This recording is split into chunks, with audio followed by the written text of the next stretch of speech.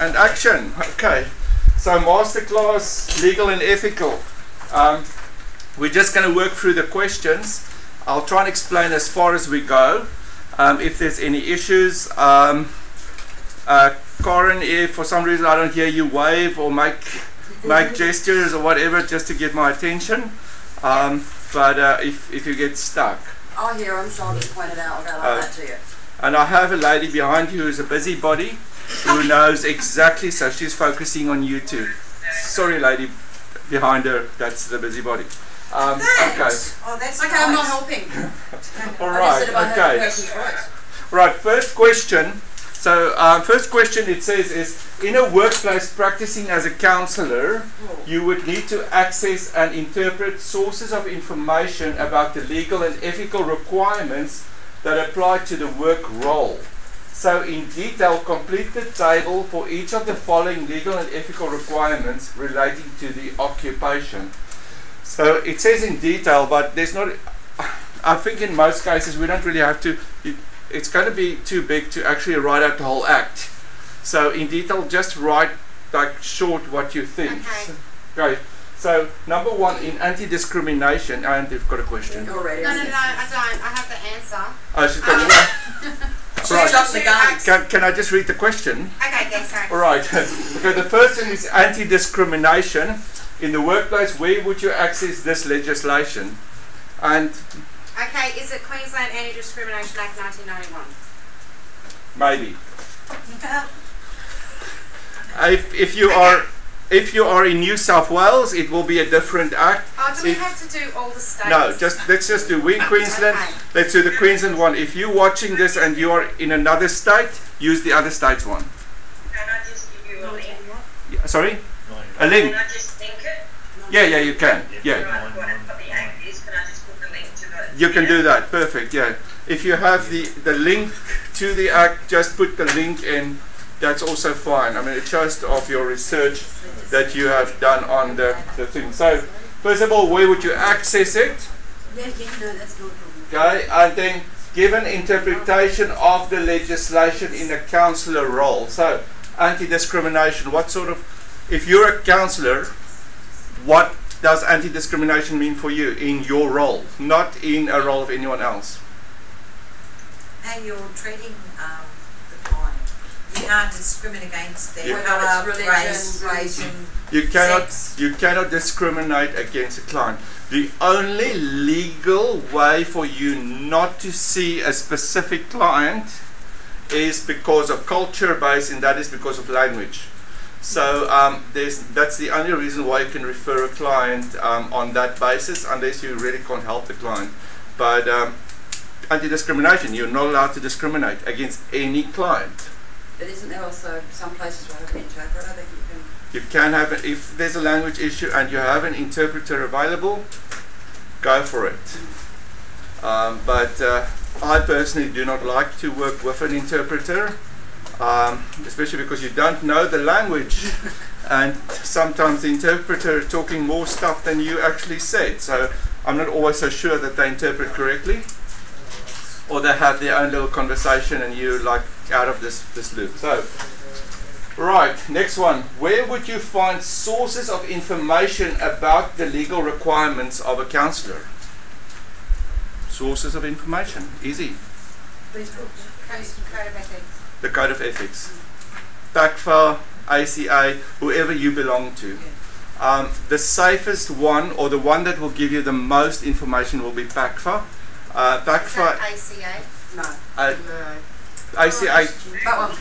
PACFA is number one because PACFA oh, is. ACFA. PACFA, P I C F I PACFA, because PACFA is the governing umbrella of all of them. So, so PACFA is mothership, and all these other ones are under under PACFA. So, so the most complete code of ethics you'll find will be PACFA.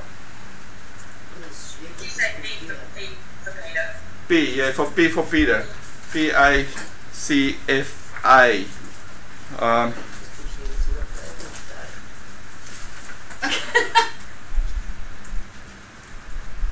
Never heard of That's it. Great. Okay. Okay. So the, the requirements also to be a member of PACFA is you need to have a master's degree and up.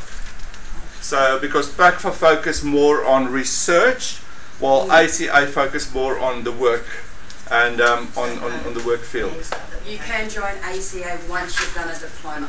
Yes, ACA is for once you've done a diploma. Um, I think CCAA, Christian Counseling Association, Association, the same, but PACFA is a master's and up. Okay. Um, so yeah. right, Right, next one. Right, same question. Um, so on privacy, confidentiality and disclosure, where would you access this legislation? Legislation on privacy. Privacy Act 1988. Privacy Act of 90 something. 1988. 1988 is the Privacy Act. There's also. but there's different standards in the Act. Thank you. Sorry. Thank you. Um, so, Privacy Act 1988. If you are in a different state, just make sure of where you are. But um, yeah, so if you want to use a Queensland one, cool, go for it. But Privacy Act of 1988. Um, give an interpretation of legislation for a counsellor. So, how does this work for me and you as counsellors? How does Privacy Act work? We've got to keep the all the client's information, um, secure and everything like that. We can't disclose anything with, unless they are gonna harm themselves, that's the Yeah. only time we Or can So- you've do got that. permission. So we need, police. yeah. So you need to be very, very careful with your, with your information. You need to keep it safe. I'm not, I'm not allowed to share that. And also, you don't share it. Like if you, let's say you're married, okay? You go, you go, you counsel, you come home, and you you had this very big case. The first person, the person you want to chat to is your husband or your wife, and you tell them that you're not even allowed to do that. Okay. The only person you can disclose disclose this to is your clinical supervisor when you go for supervision. So otherwise it needs to be locked up. Are you allowed to, like, if you had someone like your spouse, if you wanted to tell part of it but change names or you can't do that way? No, Oh, okay, I just wanted to. no, no. We don't share. You don't share anything. Not even changing names. Not even changing names, whatever. Nothing, nothing. I asked her. And then sometimes, especially sometimes, we have issues with um, dual relationships, knowing people.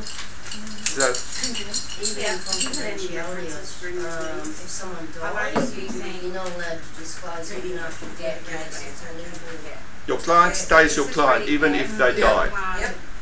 Okay, your client stays your client if they have passed away. And in that that source also like if you um, if you go to let's say let's say you go to your client's funeral and the guy next to you say to you, Hey, from where do you know him? Then you just you're not gonna say I know him because I was his his counselor or that sort of stuff. You still respect your client. Your client stays your client forever. confidentiality, okay? Even if they say you are a really sucky counselor, I do not want to see you ever again, you still respect the time that you spent with them. Workplace health and safety is. Okay. Where would you find sources of information about this for you as a counselor? On uh, everybody, Code of ethics. code of ethics, code of ethics, and obviously also the act. So you've got the code of ethics plus you've got the act. So both those things play a role for you um, as a counselor. Hmm. Next one in the same category is work health and safety. Where do we find that legislation? You can find. No. Work health and safety legislation. So that legislation will obviously again be the Work Health and Safety Act. Um, You can get it. everywhere. Yeah. The website for Queensland Web- is www.worksafe.queensland.gov.au. Okay, Queensland worksafe.gov.au. Yeah. Um, every other place, just Google work, Workplace Health and Safety Act. It will come up. Um, just give us the code or the link to it. Um, you don't have. To, please don't explain the whole act. All right. Um, WorkSafe. so yeah, just think of the poor person that's got to mark this. Um, it's just as exciting to mark it as it is to do it. So um, just give me the link. That's cool. Well, it's Um, 2011 for Queensland. Yeah. Give an interpretation of this legislation for you as a counsellor. How does how does health and safety work for you as a counsellor? Okay, you must make sure not only that your work colleagues are safe, also that your clients are safe, and anybody that walks in off the street is safe. So everyone must needs to be safe, including you. Um, that's why we also say for your own personal safety, do not cancel alone. Um, if you cancel after hours, make sure that there's still someone else in the building. Um, Have your chain in the door. make sure that if you when you're the counselor that you've got the closest chair to the access of to the entry of the room so that you can leave if there's a problem. Um, some you go read with Jay. Before it breaks, but Some- I'll give you this. some rooms also have or some some places have panic buttons which you can press in case of an emergency. Just to make sure that you're safe. So okay, so that's it. And where would you find sources of information? We're talking about the Work Health and Safety Act again, plus we look at your Code Code of Ethics. So Work Health, Place and Safety Act and Code of Ethics. They're all also for us as counsellors. And do the um, organisations have their own sort of things with Yeah. the work and safety as Yeah. well? So so wherever you work, like if you work for yourself, there's a certain certain thing that you need to do. But also if you you're, you're renting a building, your building also has certain requirements. Um, there need to be signs, evacuation signs up, all sorts of stuff. So it differs from place to place. It differs from where you work. Um, each workplace has a different sort of um, sort of thing for each person. Organisations, it? Yep. Yeah. Right. Choose another piece of legislation related to your work role. What sort of other rela- legislation do you think can add to your work role? Disability? Hmm? Disability Act? Disability Act, Child safety. child safety, Duty of care? Domestic du- violence? duty of care, domestic violence, all those sorts. So you can actually add anything in there So ju- you just add any other act. any other act that's got relate that's got I mean there's no there's no. It no doesn't have to be an act, does it? um yeah it's it's talking about legislation If somebody comes to you and shows you a VRO, you've got to respect that. yes yes uh, what sorry A a VRO, I don't know what you call it, restraining. uh, uh, uh, DVO we call it DVO so violence order yes that's part of it yes so domestic violence those sort of things um, so so you can just put in anything there that's got an influence on your your role as a counselor um, What about, I'm sorry, what about the human rights? human rights play a role Yep.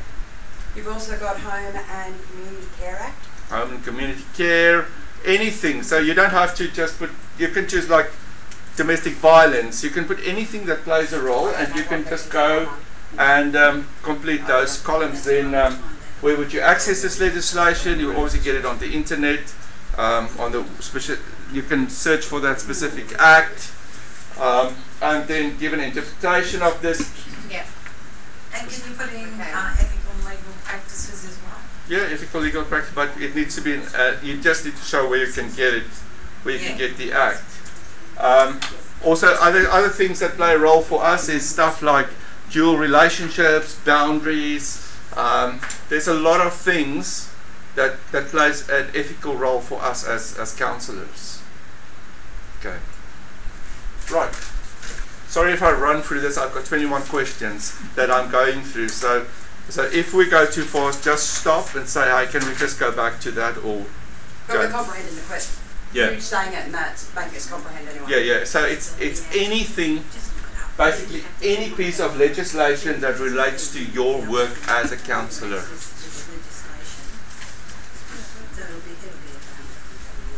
Question two. Yay. Question two says list three websites that you could use to access specific legislation or acts that would find out information about specific pieces of legislation relating to your role as counsellor. A government website? Legal. Legal. Legal. Google. Yeah, legal. Yeah, so so find the website. Thought they Google. Google. Google is your they said Google. What about Google is your friend. So you Google three websites that gives you access. Website. Yeah. So yeah, so interesting and please note on this there is a limit to your word count. I know. Oh, and a minimum. Forty. Um, so it's Uh, okay. minimum of 40 words. Yeah, So we're only listing the sites, so. minimum. Information. So So it- you're gonna do more. It must be more than 40 words. Four thousand's good. It must Okay. be more. It must be, it says response minimum of 40 words. Yeah, Maureen, there's no cut-off. Oh, I should go for it. So give me a website and maybe you give the website and you just explain a bit what it's about. So this uh, this this legis or this website helped me with this and this. Um, I've got a great website. Thanks to our friends um, Michael Lynch Family Lawyers. Um, their website www.mlfl.com.au. They give you amazing, amazing, amazing work on family law. Ah, so that's what you have to do, okay. So- you get the website and then explain how So, you got it like-. Yeah, so Michael Lynch, um, www.mlfl for Michael Lynch Family Law.com.au. And these guys focus, their, their main focus is family law. So um, you can also just, um, for your own sake, sign up, go on their website, sign up to their newsletter. Uh, they send out a, a monthly or so newsletter about changes in the family law and, and things like that. It's actually good as a counselor to be aware of things in the family law uh, because you're going to get clients that come in about that. So, family law, these guys are great. They've got a great booklet. I think I only have one booklet left uh, where they explain a few of the acts. So, you've got a bit of an open field there with what laws and what website you want to give us. Is that forty words in total? No. More. More, More. more than, that's what I mean, More- more than forty more than words 40 in words total. in total. Let's So I think it'll be quite easy to, Yeah, to actually so- over yeah. go over 40 words. Three thousand sounds good. 3,000 sounds good. Yeah, yeah. I don't have. No, I don't have a. 5,000? Sorry, 5,000 even better. The only problem is remember we have a cut-off date of 20 December. So the more you more time you waste. I think so. And you've got to read three of it. Yeah.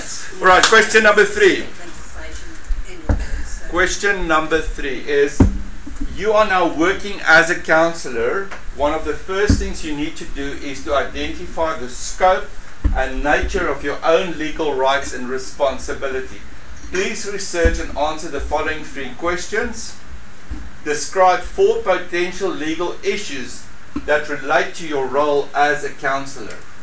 Privacy, Privacy. One issue is definitely privacy. Another issue as a counselor Keeping the, um, your client safe at all times.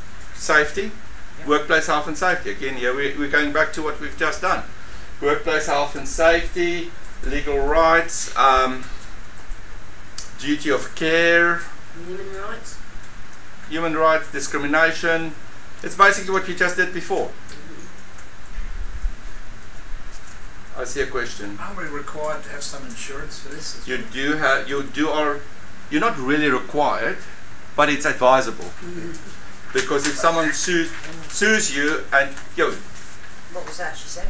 insurance, Okay, so insurance. Normally, when you join up with a with uh, um, with one of these governing bodies, ACA, they normally give you reduced rates. So if you go on your own and you want to um, go to to uh, insurance company, you can get it. But I know that a while ago I spoke to someone from the ACA and they talked about $120 a yeah, year. it's third, uh, it's, um, isn't it public liability or It's something? public liability. Yeah. They talked about $120 for a million dollar coverage. Yeah, yeah, yeah. So if Yeah. someone sues you It's because not you that gave, expensive. yeah, It says here, uh, councils must have professional indemnity insurance to maintain adequate cover. yeah, yeah, yeah, yeah. So, so it's that's good if you if you get that through your counselling association, you're safe because that will they know what what you need, Do you want to know where it says hundred words, is that for each or all of it? the whole thing, Oh, I thought it was. the whole thing. Unless you want to do 100 words each, we can quickly change that. No, no, no. Okay, 100 words for the whole thing. So just choose four things, put them in, even if it's one of these previous ones or more than the previous ones we've already discussed, because they all have an influence on you anyway. So, Ah, ah, sorry, no, I was Wait. looking at Remember, remember, we learn by repetition. Um, Yeah. So uh, if you put in stuff in again, right. Um, for number two, for two of these issues above, describe how would you respond if these issues arose. So you you just in the previous one, you chose four issues. Okay, so maybe uh, you chose uh, a health and safety issue, something so happened, or a, to uh, the workplace health and safety officer. yeah, yeah. So then, how would you? So the issue is health and safety issue arose. I will refer that to the health and safety officer. Uh, fill out whatever forms required. That ever you know. Um, so so just choose one of the four you mentioned before. So you choose two of them, and you just discuss what will you do when that issue arises. So if it is privacy, you then would speak to your Supervisor. Supervisor. Yeah, yeah. So if you work somewhere, you obviously will have a supervisor where you work. So just get it clear. There are two supervisors involved. yeah. Okay. If you work somewhere, you have a supervisor. Okay. Yeah. But apart from that supervisor, you have your personal Oh, clinical okay. supervisor who's not working for the same place you do. Yeah. It's a person that you, So it would be the manager. yeah, the manager, whatever. So if it was family law, then because you're a counselor, you would go more like a specialist of You, yeah, so you probably go to a family law person or, uh, yeah, it's like, Mike, you'll refer them to Michael Lynch people.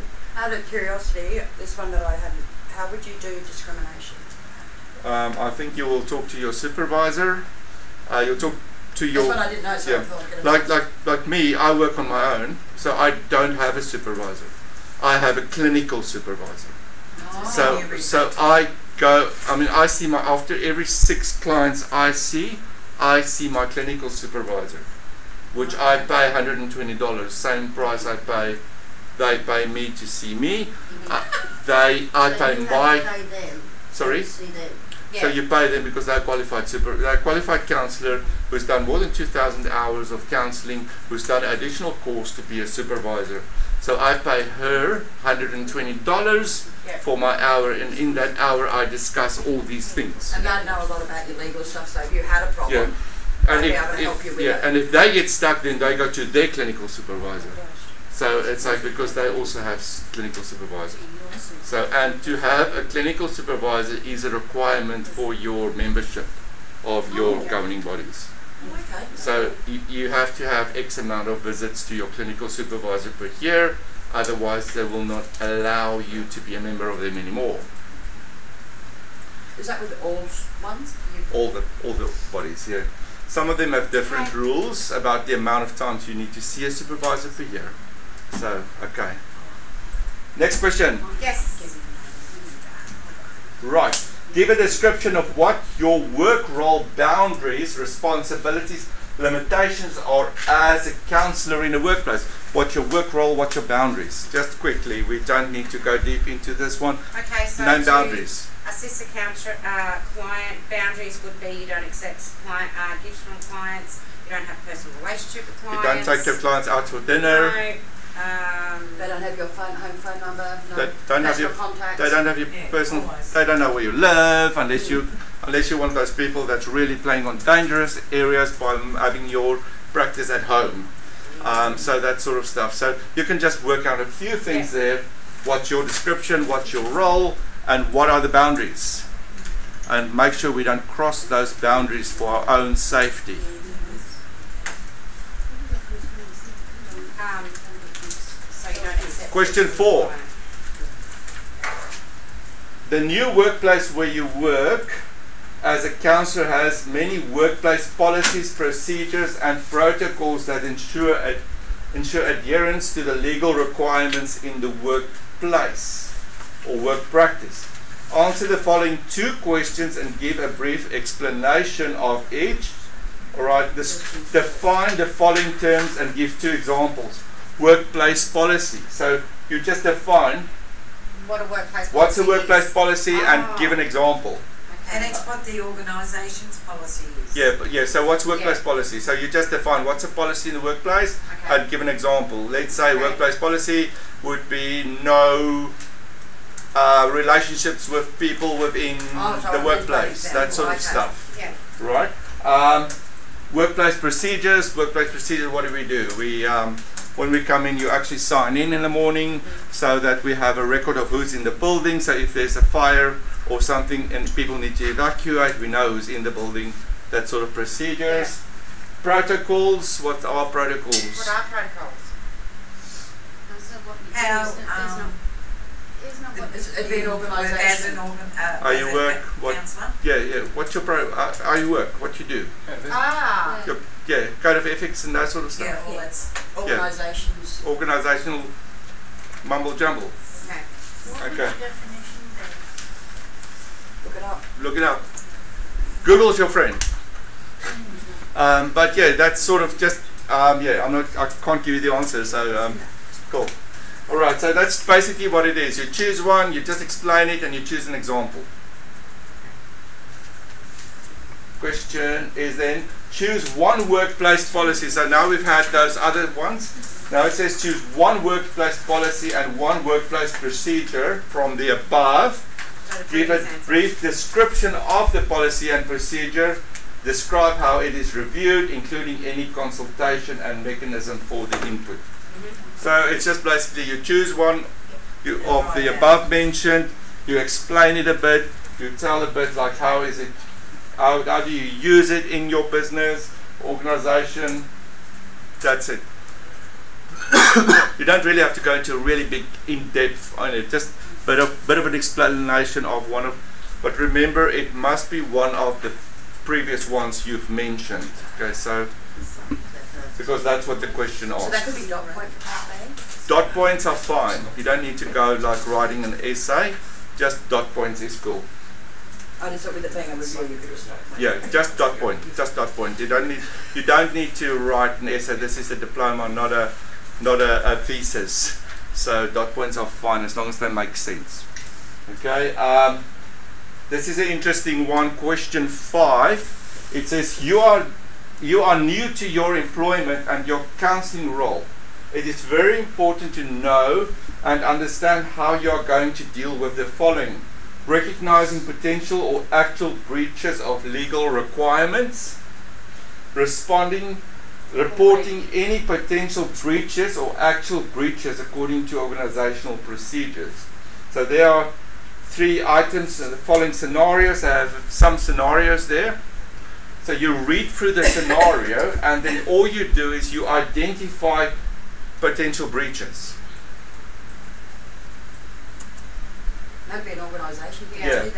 Yeah, and then so you read those those scenario in the previous question, Yeah. and then you just fill it out here. So you choose the breaches. So say um, if it's a sexual thing, or it's, if it's a, a boundary breach, or if it's you just write it in there. privacy So or- so it's it's just quite it's it's actually quite Describe the legal. yeah. It's a it's a bit of common sense on that one because you you can see what what what it is and um, yeah. So any questions on that one? Just a quick. I just said that it would also, apart from being illegal, because it says in a work, you'd also look at the work, um, your policies. Yeah, so you look at your policies, you look at your um, your legal. It talks about legal. This one specifically talks about legal. Okay, so the reporting, they Yeah. so the Yeah. organisations. yeah, so sexual stuff, um, uh, domestic violence Yeah, stuff. One of them there says Yeah. very clear what it is. Uh, there, there's one about nurse, huh?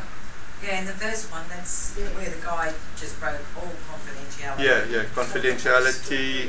So that like okay, there's the one answer already. Like one first one they talk about confidentiality breach. So what's happening there? Okay. So be careful, and also confidentiality breach. Be careful It's because it, it can have happen quite easily. You can easily break, break It's breach your but it's confidential. breach you terminate it, do you? Ah. Sometimes you say breaches. right. Before we move on yet, there's one question. I see that It's hand. Yeah, it's about the next question. Question six. Yeah, ethical stuff I get confused about. Yeah. So it says relate to ethical requirements that apply to your role. So I don't know. Ethical. I What- know legal. You know, legal. Legal is law. Ethical Yeah, is Obviously, Read- Ethical is Reading one, reading eight. Values and all that sort of ethical is sort of Reading eight, code of values, values, morals, that sort of stuff. I think it's on the first page about state. Okay. So ethical is about values and things like that. Um, we also sometimes get, and I don't want a discussion about this one. I'm just going to give you this as a as an example, give you time. Ethical is there's some stuff in ethics we call it ethical dilemma. So sometimes you will you will get along you'll you'll reach a situation where ethical dilemma is. Um, so one of those is I've just example of a good ethical dilemma is you you as a person believe um, it is unethical to lie. Okay, so I don't lie. Your neighbors, your let's say the lady that lives next to you come to your home and say to you, please hide me, my husband's going to kill me. So you hide her in your house. The husband knocks on the door and he says to you, "Is my wife here?" That's an ethical dilemma because you're going to ah. lie to him Yeah, yeah, to yeah, say she's not here because she's there, but on the meantime you're also saving her life because if you tell if you tell the truth, so that's an ethical dilemma. So sometimes you will you'll get in a place of an ethical dilemma, yeah. So that will come against your belief system sometimes. Um, interesting thing is someone also wrote somewhere, I don't know who the guy is, he said, if in doubt, n- doubt don't. Yeah, yeah, So yeah. if you sit in your counseling session and you're in doubt if you're going to break your ethical code, rather not do it. Um, unless you're on a really bad ethical dilemma like this So case. is it like who you're counselling, Yeah. clients, so the types of clients that you're counselling? Yeah, some sort of yeah. I, it's like you've got. Let's say an ethical dilemma is you are counselling someone who's a wife abu- uh, abuses his wife. Okay, okay. So you, because your client is your client, you have to give that client your absolute best Yeah. in this process, but you cannot judge. Yeah. So best friend's husband you can't do because that's a that's a dual relationship. Yeah. So that sort of stuff. Um, dual relationships, especially if you live in a small town where everybody knows everybody, that's another dual relationship. Right, list three sources of information that relate to the legal requirements that apply to your role. We've done that before, so you can just jump back to the legal Yeah. stuff we did in the beginning because they all add to your role. So we learn by repetition. Question seven. We've done a third of it. Um, the Australian Counselling Association is one of the primary professional bodies that regulates counselling practice in Australia. And they have developed a code of ethics and practice to support the work of counsellors. Yeah. There it is. Okay, and you get it from the internet. It's easy to get. You just type in Code of Ethics ACA, and this this document comes up. so Um, there's a, in that is the code of ethics and the code of practice. this is the Code of Ethics. Yeah.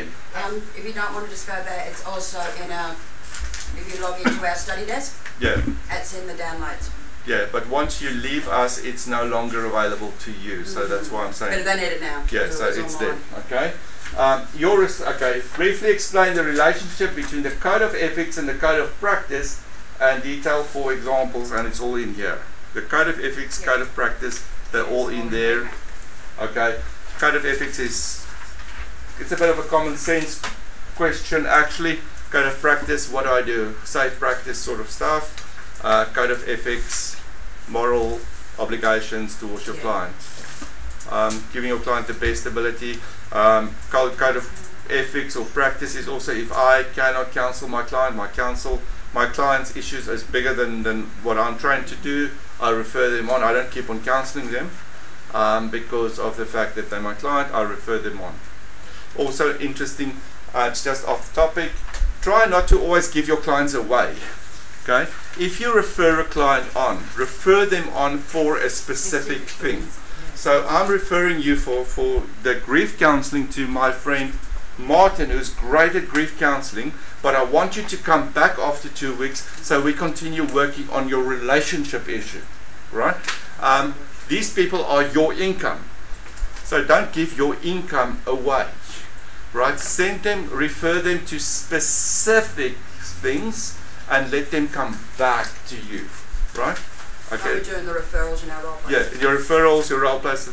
So, so normally we, when you refer, refer them for something specific, but also make an appointment to see them again.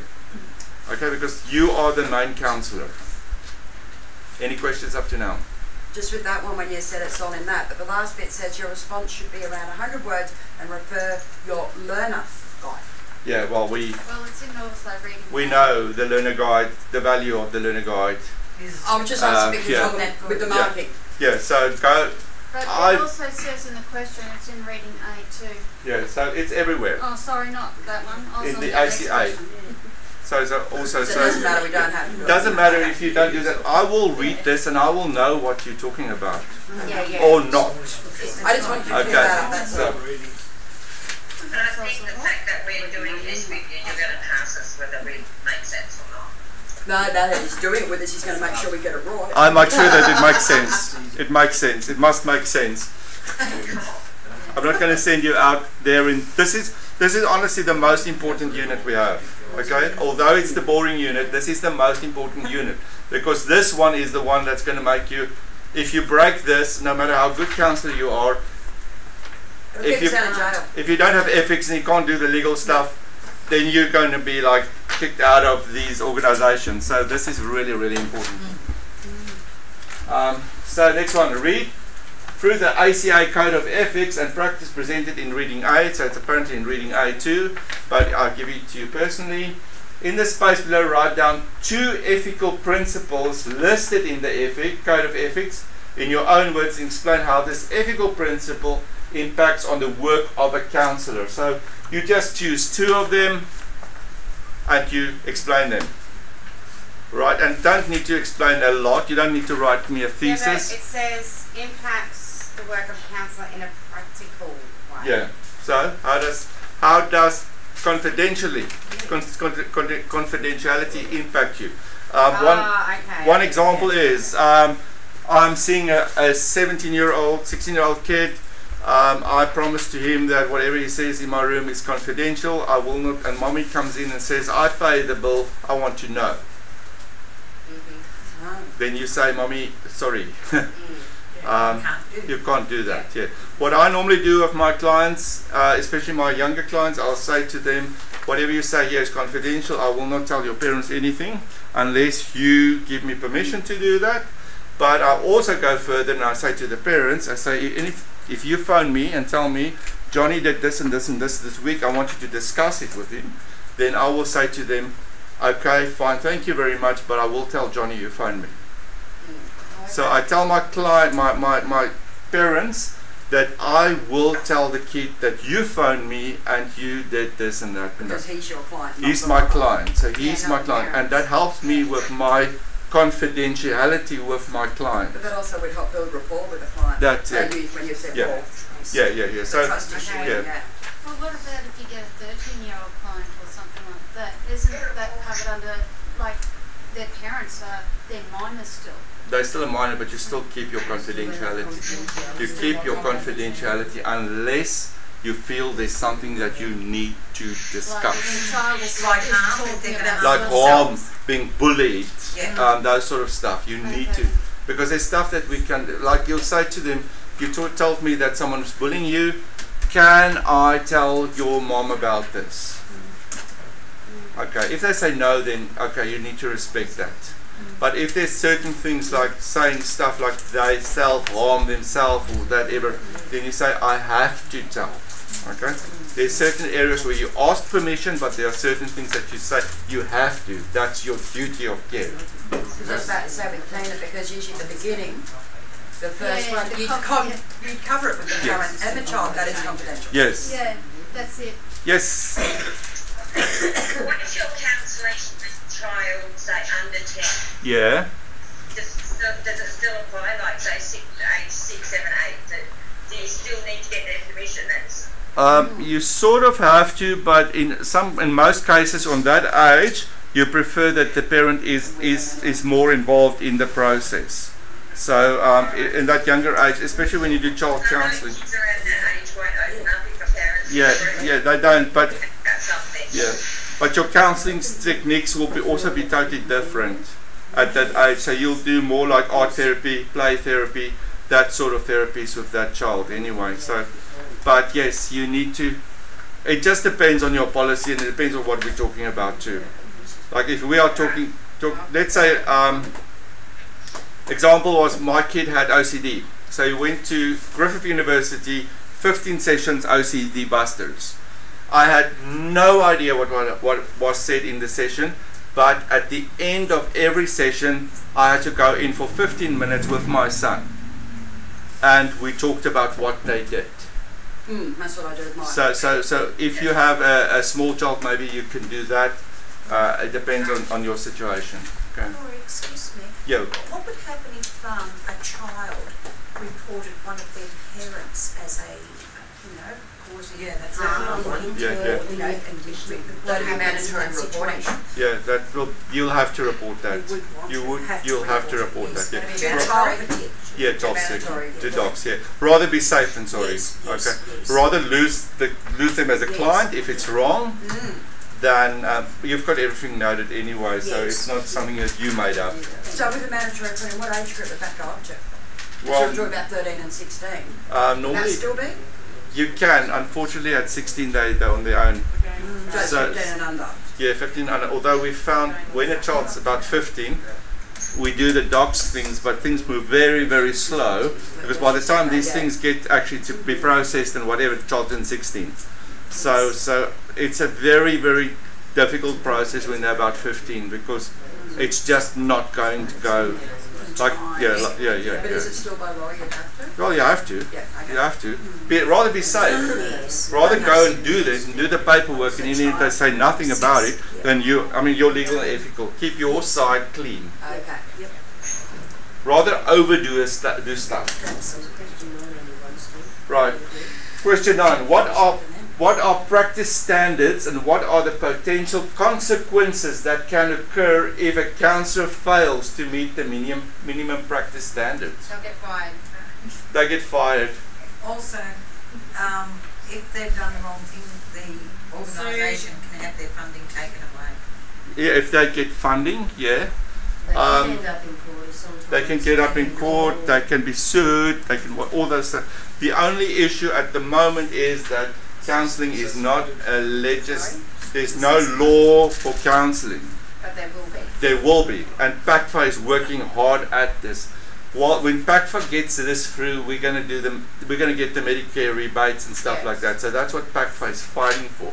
At this moment, any person can go and counsel, even if you believe um, do tree therapy or whatever therapy, and get people to sit under trees and sing Kumbaya uh, and call it counseling. Unfortunately, they can do that because there's no legal um, thing for counselling at this stage, but it will come in, and tho- those sort of stuff will, will Because at stop. the moment we come under community service, don't we? Sort of, yeah, but it's not really covered by yeah, but the, any. le- the legal stuff, Yeah, if you yeah, had to look yeah. up, it's community So- But it's going to be. It's going to get there. When they bring all this in, like the uh, we're doing, are not really going to be any good, are they? Well, it's ACA approved. It's ACA approved. It's So, still to be, yeah. to be counselling, you still need to go. Well, it's better to go further. I mean, it is better to go further. But You already know that we're doing the question ten: What is code of conduct, and when should counsel refer to this document? What is code of conduct? It's how you, Conduct. it's how you work, it's how you. How you work. How you work, How you conduct yourself. yeah, how you are with the client. Yeah. Yeah, code of conduct. Code of conduct. I mean, it's like dress properly when you see your clients, that sort And of isn't stuff. that in the policies and procedures of the organisation that you work for? Yeah. yeah. Normally, when you when you actually go to work somewhere, there's like a one what says how much you be dressed and and, and, and uniforms and, and everything. There's there's a, there's a whole code of conduct thing. You're not allowed to swear. You're not allowed to do this or that. And And usually when you start anywhere, they'll give you a, their procedures and yeah, code of they give you that they want and you sign it. Mm. Yeah, So make you sign forms. yeah, you sign heaps and heaps of forms when you like work. Yeah, Uh, what is it? Social media. yeah, social media, um, Just like privacy. photography, that sort of stuff. If you work on your own, you actually do your own code of conduct, which you Yeah. normally get from your ethical Yeah. procedures and stuff anyway. So, I mean, there's stuff for me. It's like I will not see someone alone. There must be someone outside. There must be a secretary outside. That sort of stuff. Um, I will not go to someone's house. I will not let someone come to my house. That sort of thing. That's not happening. I'm not meeting a client that will not see me in the counseling room um, at their at a coffee shop or something like that. That's part of my code of conduct. So if you work on your own, create your own code of conduct. Yeah. So guidelines. Your guidelines. Okay. Question 18, s- uh, 11 says, when working as a counselor, you must demonstrate that you have your own ethical responsibilities. Describe the scope and nature of your ethical responsibilities in a workplace as a counselor. What ethical rules exist for counselors and what is their reach or limitation? Okay, so when you are a counselor, write your own ethical rules. So basically, what this is is you write your own ethical rules. So you tell me in there, in less than four thousand words, you, you tell me what. Where that was written. Sorry. I thought I, I was looking to see where it had four thousand words and I was going, yes. I was I was just trying to see the fear in everyone's faces. But um, just write there your own ethical stuff. So let's say you've got your own practice. What are the ethical stuff that that's no-go areas for you? Okay.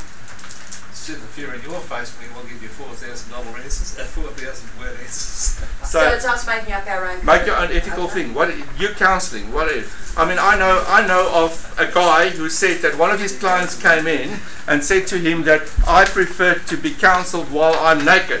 What? What? oh, Marie, that's for you, mate. And then you say to him, "Oh, that's fine," or do you say, "No way, that's not what we do here"? So, so sometimes we have strange. Can't afford me. I mean, I know of someone that saw someone, and this person's got a dual personality. So they saw them in this, and then they went out of the room, get dressed in, in women's clothes, and came back in the room. Wow, Um, so- it's fascinating. So it'll be fascinating, but it's like, I'm sorry, dude, you're not leaving my room when you're here. We are now sitting here, and I'm not going to see you dressed like a woman. Um, you know, so you choose your ethical codes. But Okay, you could if you wanted to. you could if you wanted to. Yeah. Yeah, because if Yeah, you but- didn't, you're sort of judging. No, he's just showing you that to Yeah. him he wouldn't Yeah. where he was. But if you wanted to, you could. Yeah, yeah. For Like if, example. if the guy comes to you and says, "I don't, I cannot come to counselling if I don't wear, wear or, or have a gun with me," it's like it's like it's like okay, that's not going to work for me. That's not part of my my safety. So so what would work for you? And just write it there. That's quite easy. Okay. There you go, some good examples there. Unless you, yeah.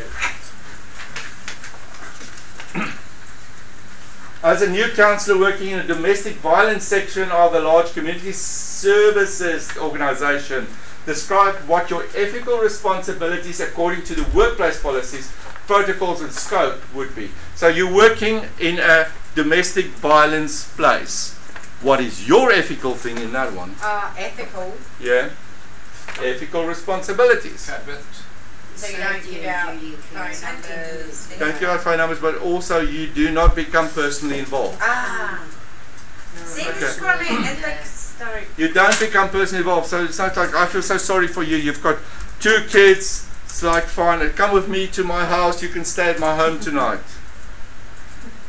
No, you can't do that. You mean good. Or I'll give you a lift to the train station. We don't do that. We don't give our clients lifts. We don't do anything. Although you feel you want to, although you feel you want to help them, you cannot Not do unless that. it's taking the client to a refuge.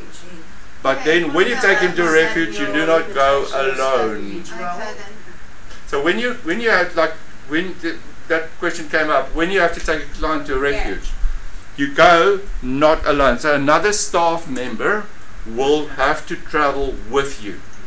You don't take your client or the kids alone in your vehicle. You make sure you take another staff member who's over 18 with you. Or organise maybe a taxi Or organise- Or, Yes. or get them an Uber. Is that to Oh, cover, some of those places will come and get them. Yeah. Yeah, they is that do. to cover you in case they turn around and Yeah. accuse you of doing something? Uh, in case- Not only yes. that, in domestic violence, as this is, you could have the husband watching or following. Yeah, yeah. That's so- right, yeah. and they can It's your own safety. Yeah. not Remember, remember, safe your safety first. Okay, your safety and your ethical stuffs first. Okay. Okay. In your new role as a counselor, there will be potential ethical issues and dilemmas that will occur. Describe at least three possible ethical issues or dilemmas that might occur and give a brief description of how you would handle them. So, with these ones, you choose three ethical dilemmas. It can be anything that you see as an ethical dilemma, and you're right there how would you handle that.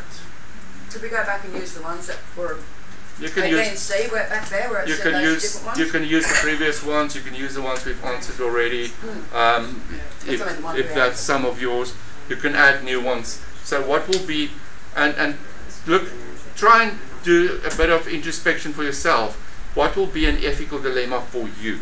What was that word you used? Introspection. Introspection. Big word. That's a big word. That's a clever word, isn't it? It's a It's word. like yeah. So you just um, your word of the week. you do a bit of self re- self reflection and say, okay, what's an ethical dilemma for me? Um, how would I handle if I get a client who's, let's say, a pedophile? Ah, So so A client that's a pedophile. So I've got my client, he comes in, he's a pedophile. Yeah, How a- would I deal with I that? think that would be be massive, issue it would for massive. a lot of people. You Yeah. don't have to like, you don't feel comfortable, you don't have. Yeah. So so it's like yeah. So it's personal stuff. that's personal stuff. So there's lots of stuff. So there's um. That's why I say. didn't have enough knowledge, you'd You'd- be silly yeah, to take Oh, that's a good on. one. Yeah, Yeah, that's a good one. Yeah. Normally you refer by saying I don't have enough knowledge. That's Yeah. keeping safe. Just so, Yo, jumping on to the next question.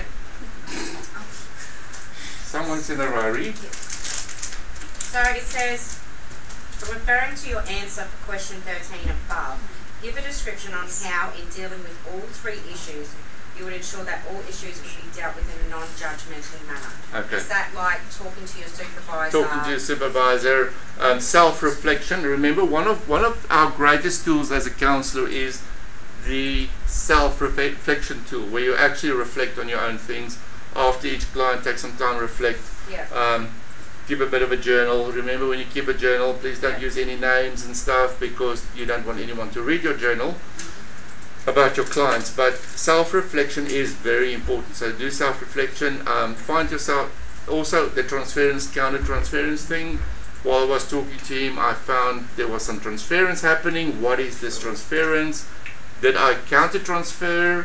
What's going on here? That sort of So, with transference and counter-transference, transference is when they're they're projecting showing, on they're you. projecting on you, and counter is when you're projecting back onto Yeah, them. yeah. So she likes you because she thinks you are like the father figure that she never had. So And she's like, you- and you like, oh, I want to be adored by someone because my Yeah. wife is not really giving me the Okay, honor I am, so I tra- Yeah, transfer So back to her. self-awareness of self as well. Yeah. Yeah. Yeah, that's a good one. Awareness of self. Self-awareness. Self-awareness, use of self. that you don't realise you might be biased Yeah. when you haven't until it comes. Yeah, yeah. Or crutch, they Even crutch. use use of self. What's happening in your body? I'm counting this person. Why am I getting really tight shoulders? Or why am I feeling stressed? Why do? Why whenever I'm Oh, working so with this client? to your body. Yeah, why I'm working with this client? Why when I work with this specific client, I'm always exhausted after the session? That sort of thing. That, that's our use of self questions that you need to ask yourself. Because sometimes our clients project on us and we pick it up. Yeah. I normally get from clients, I normally get um, tight shoulders. When my client tenses up, I get tight shoulders, and I'll normally call them on that and say, I've got tight shoulders now, why? Are you stressed? So you're picking up on their stress. I pick up on their stress. Okay. So, yeah. So refer, look and listen to yourself. So Yeah. it's like watching their body, but you picking it up. Yeah, So pick it up. pick Listen to your own body. Yeah, Listen to your own body in the process. Okay.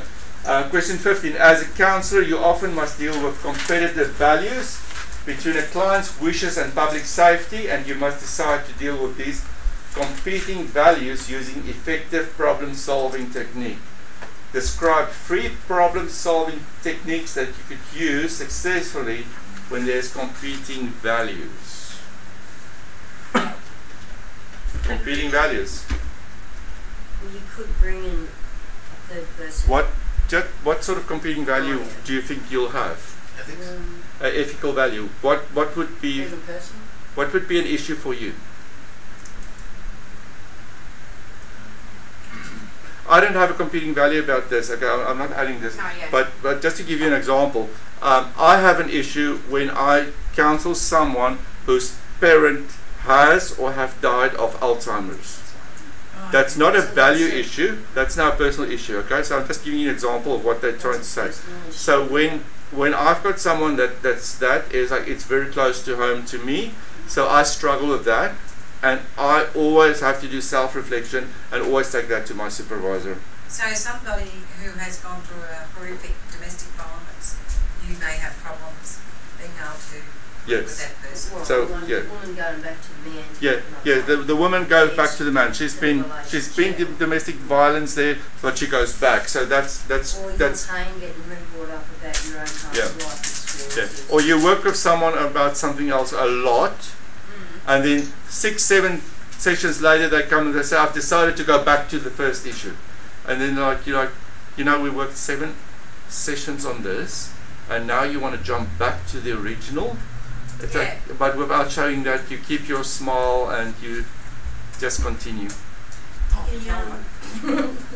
So how would you deal Not with that? The the question. question actually is between the client, or is that just Client's an wishes and public safety. The Okay. client's wishes and public Public safety. safety, so So- with competing values, is that just, is that just an example? Yeah, it's just could an be example. Any client issue. It could be any have client issue. It So can client be issues and public safety, Yeah. someone says they're going to kill collect themselves. their kids and go and Yeah, yeah. drive them into the river or something. Yeah, yeah. Yeah. Right. Yeah, or, or I'm going to take the kids. Um, I'm going to pick up my kids. Uh, my wife doesn't want me to see my kids. I'm going to pick up my kids at school, and we're going to go to England. Yeah. So what if your client is an abuser and says he's going to go home and beat his wife and his children? So what happens then? You're the place. Then you then, then you have to actually ring someone. Yeah. Ring Okay, so So someone. this also comes in like if anyone's going to self-harm or no. That's like Yeah, some, if I know you can hurt someone else or Okay. yourself, that's one of those. This Okay. question's really open, isn't it? Yeah. In counseling practice, there are many situations that could lead to unethical conduct. List three examples. Easy. Right? That again. In counselling practice, there are many situations, situations that can lead to unethical conduct. List three possible unethical conducts. Well, Yeah, you well, can- that's the falling in love with counsellor- Having sex One with of your your client. clients Yeah, invites that's you what out for lunch. gonna. Yeah, clients, you become personally involved with your client. Even the gift. Yeah, You taking gifts, it's taking expensive gifts from your very- clients. Okay. Um, Not reporting um, child abuse. not reporting child abuse. Um, you feel sorry for your client, so you become personally involved in your client. Um, what if you really, really like the client? It's a cool client, and you are f- sort of you falling in love with the client. You're both not building a relationship, and suddenly your client comes to the end of the session because they can't afford it, and you suddenly say, "Okay, don't worry, come any week, week come anyway every week for free." Ah. What about like when And how would you? Or you change your hours for a specific client. You can say, okay, my normal hours is an hour, but because you're such a great client, we make it two hours for the same price. And this has happened, I guess. That's happened. Yeah, that's a, that, there's lots of ethical issues. So you can just think on that one stuff that's ethical, uh, unethical, how you can handle that. Right.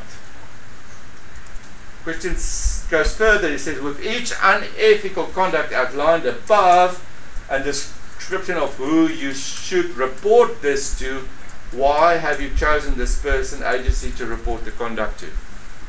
Yeah, but if you're not, okay. Yeah, If you, if you become personally involved with someone, yeah. I con- or would you talk to your clinical supervisor? yes, Yes. yes. I talk to my clinical supervisor whenever I pick up transference. Whenever you pick up transfer or anything, like I had an issue, a personal issue where I struggle when my clients cry. Oh. I had an issue of crying. I do not like it if my clients cry. And then I sat with my clinical supervisor and we actually worked out why and we actually dealt with that issue and now my clients can cry as much as they like. you're a bit hard. That's a bit. So what did you do while they were crying? Well, that's because you what had you that issue with That's it. All How did you deal with that? They I sort- I sort of sessions I sort of withdrew a bit. I, I withdrew. on com- actually, So it's like a, I couldn't. So, I, yes. if you're having relations with Yeah. your client Yeah, You're not going to tell anyone. you're not going to tell anyone. Yeah, yeah. So what do you do then? Um, Somebody jumps on you and then you. so, if, but yeah, but if you know about that, um, let's say you know that your um, colleague is doing that, who do you Okay. dob on? Okay, so, okay, so that's how then you'd answer the Yeah. question if it was someone else having. Who do you report the unethical things to? So you would report them to the supervisor, Um, and if it's really bad, the police maybe. Yeah, yeah. I, I just um, I read I read the other day um, I read over the weekend I read about a case um, where a person I'm not going to say who uh, luckily it didn't happen in Australia it happened in another country um, the person actually went on online on Facebook as a girl um, chatting to boys getting them to send in Yeah, yeah, yeah. photos and stuff like that um, and start bullying them when they didn't want to do that anymore said you have to keep on sending me these photos they kept on doing that and then he said, go and speak to your, to your school counselor. You go to the school counselor, but this person is the school counselor. Ah, Oh. So, and then when they go and see the school counselor, the school counselor says, do what the bully says. So they kept, Oh, you're joking. so yeah, Oh, yeah, that so is bad. that's Fine with bad. that one. That's That's bad. really bad. Yeah, yes, that's bad. So, so um, That's twisted. yeah, that's totally twisted. So, um, yeah, But it does happen. and those sort of stuff you report to the police. Yeah, Yeah, I suppose if somebody in counselling says that they've been stealing things, you, do you have to you report that or not? Not really, unless it's like really something big, like robbing a bank. Yeah. Oh, I had a They're client. stealing from your organisation though? Yeah. Yeah, even your organisation, obviously, yeah, Yeah, If it yeah. was the organisation. I had a client. I had a client who stole from me once. So What did you do? I said, please put it back. Um, I had a client who sat in front of me and said that her life has deteriorated and she's stealing now. And she says, like that pen, and my pen was lying on my desk, and she took the pen and put it in her pocket. So what if they're a kleptomaniac? And they Yeah, that's- help themselves that's true. you've You guys Then are you refer them. this. You need to refer. Yeah, well, them, they, yeah. there are people that are. Yeah. I'm so I'm talking about ethics. Okay. Not. Oh, we're up to question 17. Yeah. That's exciting. Organisation, the reason they say that they're stealing from that organisation, are you It's breaching ethical. your? Move on, people. No, it's a law. It's a, it's breaking breaking a. Uh, A law. The law, yeah. Yeah. yes. Let's do it. Question 17. All right, everyone. Question 17. As a counselor, there are many situations where a conflict of interest arises when dealing with a situation or the client. For the following three conflicts of interest, describe what appropriate line of action is. you have a dual relationship with a client, such as a client you are counseling is also a member of your child's school community. That's a dual relationship. You So- couldn't counsel them.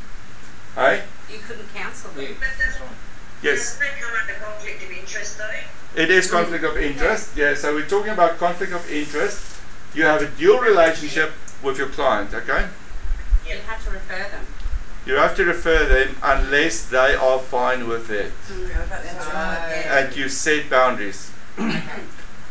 I counsel at a church. Every client I have, I have a dual relationship with. Because they attend the church. They attend the church, we go to functions together, we go to home cells together, we go all sorts of stuff. Yeah. I have a specific form we fill out to say, okay, I'm seeing you, but this. We don't talk about what we say in the counseling to me outside the counseling room. You don't this, you don't this, you don't. The only time you talk about this issue is when you see me in this room. Yeah, yeah. Okay? So it's like we set boundaries. Okay? So, That would be uh, really hard though. sorry? That would be a really hard thing to do. It is it is really hard. It's really hard, but your clients you need to be firm. So sometimes a client will come to you and say, I want to talk to you about this and they say, okay, let's make an appointment. All right? And also what I do is with each of these agreements we sign, I actually fax or email that agreement to my clinical supervisor. So my clinical supervisor know that I have a dual relationship with this person. Oh, so you've covered your butt. Yeah. Yeah. So they know already. Okay, so that's one. And funny enough, that is our practical. Uh, you have your relationship with a. So not very like it. that's the practical for this unit. Um, you discover that a person who has been referred to you for counseling is a member of a religious group that you have had very negative experience with as a young child. So this person comes to you, they're part of a religious group, you've got you've got an issue with them. So what do you do? That's not the client's fault. It's not a client's fault, it's your No, fault. it's. No, it's not your fault. It's the religious group that you have. The So how do you deal with this? There's still transference problems there, isn't there? There It's might be transference problems, there might be issues, but I would take on this client and I will don't still have to discuss it with my I wouldn't clinical. It straight away. That's it. you know, No, no, no. But I will also discuss it with my clinical supervisor. Yeah. Yeah, just to make sure it doesn't interfere with your ability to counsel. Yeah, it doesn't interfere. Once that comes in, we can actually have boundaries. you ask the Yeah. client, what if the client's comfortable with you though? So the- I was What? gonna, Yeah. I was just gonna say, if you had a client like that, wouldn't you, um, after each, um, session that, that stressed you, just, um, go and talk to another colleague or someone? You can. Or You can. journaling. A journal. You Your can. journal reflective. You can, and you reflect on it. You do self-reflection, Yeah. that sort of stuff. Yeah, yeah. But So sometimes something like that could also help you get over it. it can help you to get over it. Yeah, and remember, we are not there to judge. So we need to work on yourself. That's it. And then as these things come up, that's why we have a clinical supervisor. So we chat to them. Could you discuss that with a colleague though? Yeah, you Like can. you're saying, you can, as long as Sometimes we work at a place. Yes. We'll have. Um, He's on the outside. Sometimes you'll have like the group will come together, which you, all the counsellors in your group will work together, and you'll bring a case. We say, I have a client, we talk about a case, uh, apart from your normal. We, we call those peer review sessions where you, each one brings a case and we discuss a case. But again, we don't call, we don't name names. You say, I have a client that is this, he's a 32 year old man, and this we is did the that with you once. We had to go. Girls, Yeah. We had one prac like that. Remember? Yeah, we had a prac like that. We had to go and see our supervisor. So hang on, you haven't done the third one. No, you haven't either. Too late. did the third. Okay, what, what is the third one? Sorry. Um, on discussions with a new client who is very stressed, in the first counselling session, you discover that the subject of her angst is in fact another private client of yours. It's a misspelling. Okay, it's No, mis- it's not. another another client of yours. Okay, so we so have. you make sure that the clients don't meet each other, like you make their I will. I will. Yeah. I will refer. thing. I will refer the client onto another counsellor. Oh, really? Um, that's my Why? personal view. I will not see someone, especially if they are have got issues with each other. I will not because he's going to talk about. She's going to talk about him. Ah, He's going. So I would rather say um, because of it's going to be a, a breach of of a conflict of interest for me because ah. and also I have a lot of inf- inside information about he, what he told me about you that you don't have.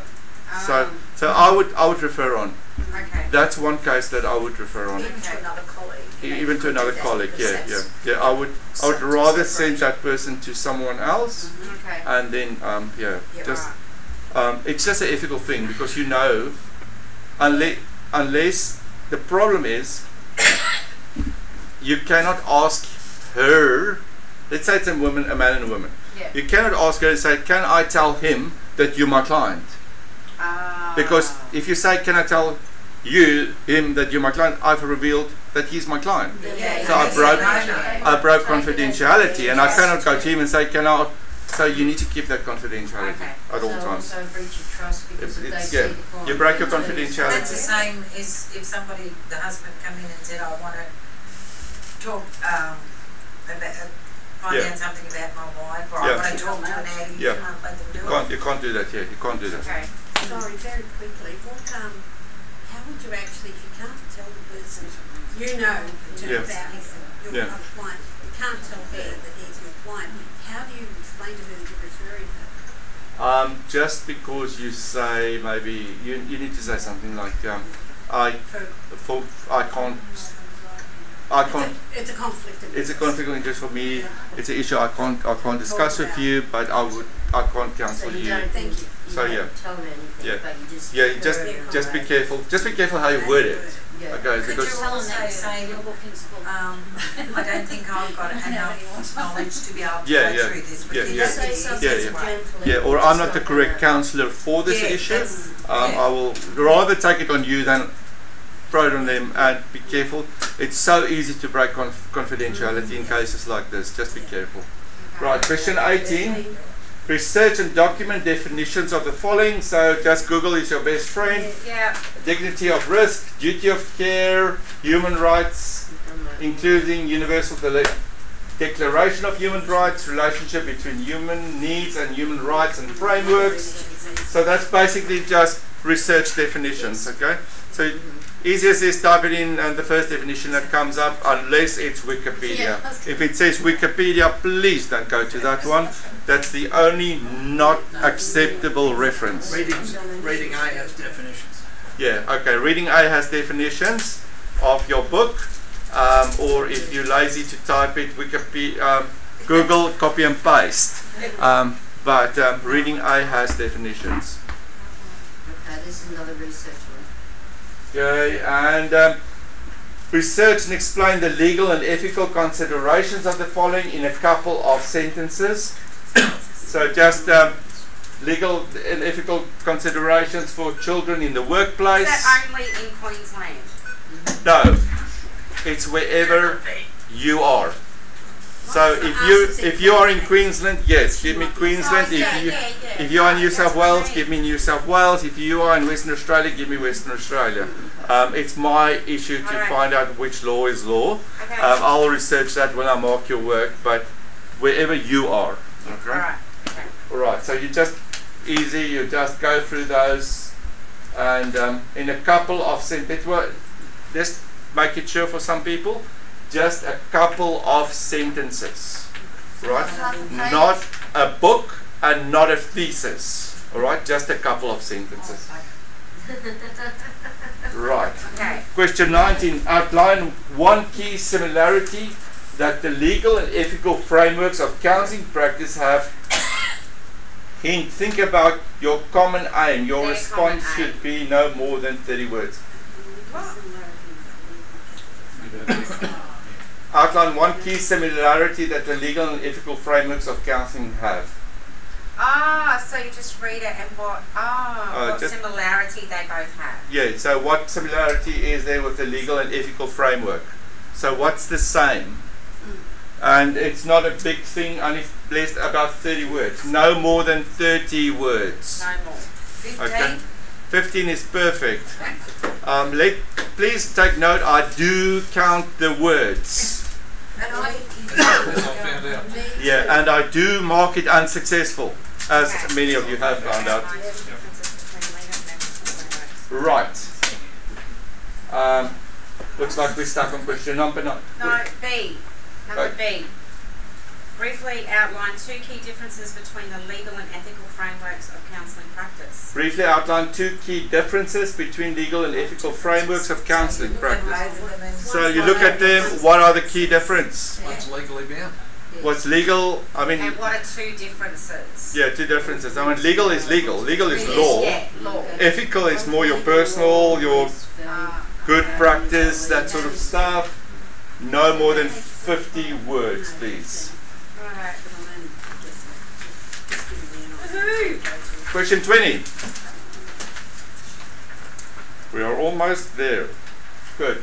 List three situations in which the management of a counseling organization should ensure that their policies and procedures are reviewed. Your response should be under 100 words. Three situations. When um, there could be a new policy that comes in to one Yeah. of the acts, then you need to. You need to, yeah. He also, one of the ways to make sure that you are up to date is to go to the PACFA conference, go to your ACA conference and stuff like that. Read the newsletter, sign up for the newsletters so that you know all the changes that are in policies. Okay, and you can already, even if you're not a member of them, can already sign up for their newsletters. Okay, so so three situations. Okay, one is if um if a privacy if a privacy thing has been like breached? Yeah, but we are talking about the policies are reviewed. Reviewed. So, so if there's, if there's changes in the policies, review. It, there's a, a So- different way of being in one of the, in one of the um, units we had, there was do a a situation where a woman, someone, ca- cli- a client came in and they were extremely upset. Now, the policy of the organisation was that you had to get all this information at the beginning, but she really Yeah. needed to just Yeah. help us off, so you had to take that. Yeah, so it's about the So you'll policies. so- Okay. So there are changes in the policy. So if there's changes in the policy, how do you how do you change them? How do you get the, we get the people together? We have meetings, we have workshops, we have memos, we have. So how do you review this? Yeah, or call How like, do Yeah, and also make sure that your policies are working. So maybe questionnaires to your people saying, um, how do you feel about our policies? How is this working for you? So it's about reviewing it. And when you can review it also in um, Yeah. team meetings. Team meetings, Yeah, that sort of things. Okay, um, it's about review. So three situations in which the management of a counseling os- organization should ensure that their policies and procedures are reviewed. So you cannot stay with the same policy and procedure you had in 1910. no, you've got to change. Does that Okay. include the Just three legislation? situations Yeah, three. which a management of Some places review what every One six Yeah, yeah, situation would be review it. So- So, so I, I mean, there's changes with, let's say, might be a client situation. uh, something came in. Let's say we have um, Facebook comes in. So Oh, Facebook's okay, not in your yeah. policy. I'm not Yeah. allowed to post anything on Facebook. Okay. But if I post it on Facebook and it's not in my policy, you can't can't say I did something wrong. Ah, So you need to alright. review the policy and say you are not Update allowed to put new anything on social media. read somewhere that usually um, And what impact they're gonna it have. always usually a, a organisation should review everything every six months. Yeah. So what's the policy? Yeah. So if something within the Aboriginal culture would change, then we need to be all on board. There's a and- change in the law and Yeah, change in the, yeah. the policy and whatever. Oh, I get ya. Yeah, yeah, legislation. So you are well you are up to date with what Right. happens Yeah. in your organization. Last question. It is every worker's responsibility to contribute to workplace improvements. Explain in your own words how you could contribute to the development and review of workplace policies and procedures. So, in your own words, how can you contribute? So, If you see something that's being thoughts on- double handled or done twice and you can think of a quicker Yeah, way of doing yeah, it. you see something that's not working, or you are you have subscribed to various newsletters.